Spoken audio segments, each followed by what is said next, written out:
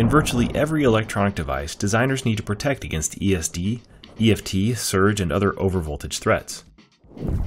TVS diodes provide a fast response, high withstand capability, long life, and low capacitance, making them ideal for protecting sensitive ICs with high-speed interfaces. A TVS diode is a PN junction diode that is placed in parallel with the circuit to be protected. TVS diodes have three key voltage ratings, reverse standoff voltage, breakdown voltage, and clamping voltage.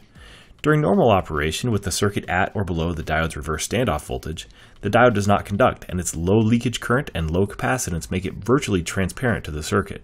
When an overvoltage event occurs and voltage begins to rise in the circuit, the TVS diode enters breakdown and shunts the incoming current to ground, keeping the voltage seen by the circuit at the diode's clamping voltage and preventing damage.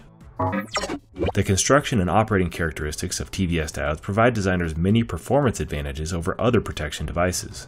A TVS diode is tuned to combine a fast response time with low breakdown and clamping voltages relative to its reverse standoff voltage, meaning transients can be clamped quicker and closer to the normal operating voltage. The diodes are manufactured with large area PN junctions that can repeatedly carry high currents and withstand high transient voltages, ensuring reliable operation and longer life. This construction also results in low capacitance, which allows TVS diodes to be used on high-speed data lines without distorting the signal. Eaton offers a wide variety of TVS diodes to protect against ESD events, including tiny chip size packages and multi-channel arrays that minimize PCB area, with reverse standoff ratings from 3.3 to 70 volts for compatibility with most operating voltages. We also offer high power TVS diodes in industry standard surface mount packages to protect against EFT, load switching, and lightning surge, in addition to ESD events.